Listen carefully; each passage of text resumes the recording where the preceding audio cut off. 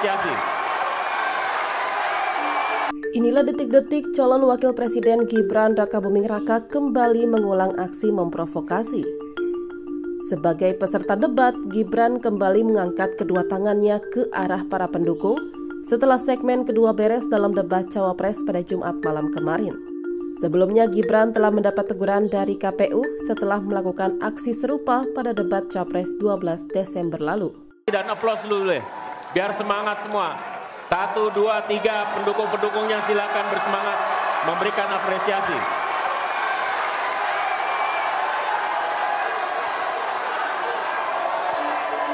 Ketua KPU Hashim Asyari mengatakan akan kembali memberikan teguran pada pasangan dari Capres Prabowo Subianto tersebut.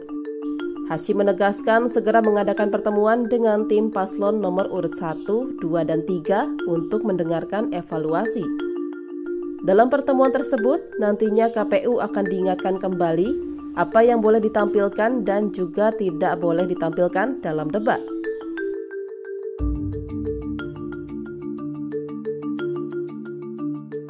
Aksi provokasi juga mendapat respon dari kubu lawan.